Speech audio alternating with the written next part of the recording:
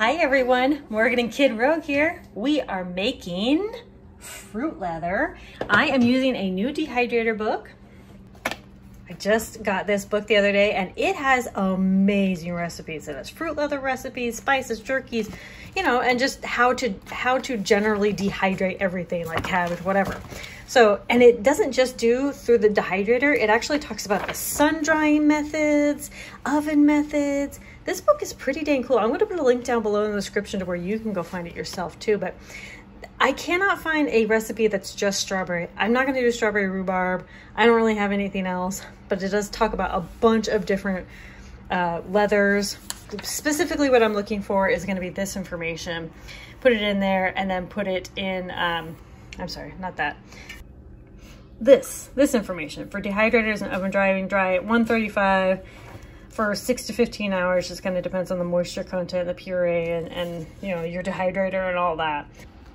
Here are, I'm doing um, a whole bag of frozen strawberries. I, I put them in the um, fridge overnight and then I put lemons and then I put honey in it. I like to do the honey. I feel like it makes it a little bit sweeter instead of just doing straight sugar. So we're gonna mix this up until it's all kind of juicy and boil and simmered together. Kind of like making jam, a little bit. I am actually going to freeze these lemon peels and then um, I'm going to be dehydrating them later with orange peels that I have and then I'm just gonna like grind them up, powder them up and they can be, you know, lemon zest and orange zest. While that simmers, I've prepared all of my dehydrator trays with parchment paper.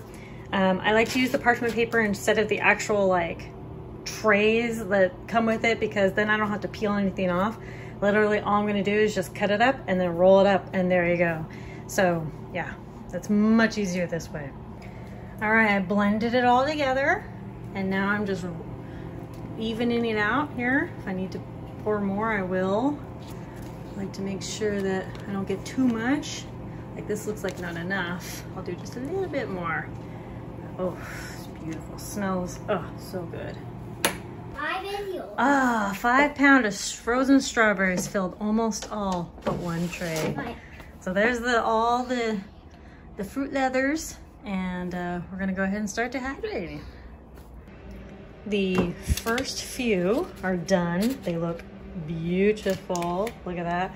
There's some thin spots here every once in a while, but man, oh my gosh. They look good, they smell good. So from here, I'm actually just gonna cut them up into pieces, roll them up, and there you go. All right, this is four trays worth, and I still have four trays left, so there'll be a second mason jar that I'm gonna fill, but wow. This is just stuffed full of delicious fruit leather with fruit leather, sky's the limit. You know, you can mix fruit. I'm trying to get back in there. You can mix fruits. You can do, you know, all different kinds of fruits. And really, you know, like I said, the sky's the limit. You just want to make sure that, you know, you get any potential citric acid in there, like lemons, that kind of thing, to keep it from browning. And then the sugars. And I always use honey, but you can use just regular granulated sugar as well. You're always going to be kind of boiling it, generally.